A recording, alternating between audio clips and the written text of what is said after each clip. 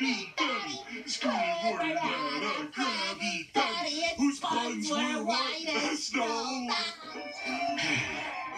to the Krusty Krab, where it's almost as if the evolutionary clock ticks backwards. Screw without a grabby daddy. Excuse me for just a second. Do you mind? I'm trying to work at a fast food restaurant. You might want to try it sometime. I sure would, Squidward. That sounds... Wait a minute.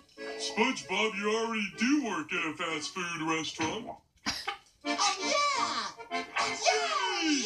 Remind me to fire my therapist. And stop bringing your neighbors to work. We're not just neighbors. You can say that again. We're not just. I don't care! Ha, ha. 419, please.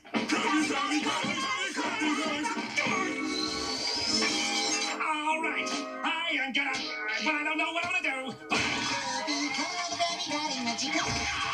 SpongeBob, your makeup poop! You broke my face! Don't just stand there, help me!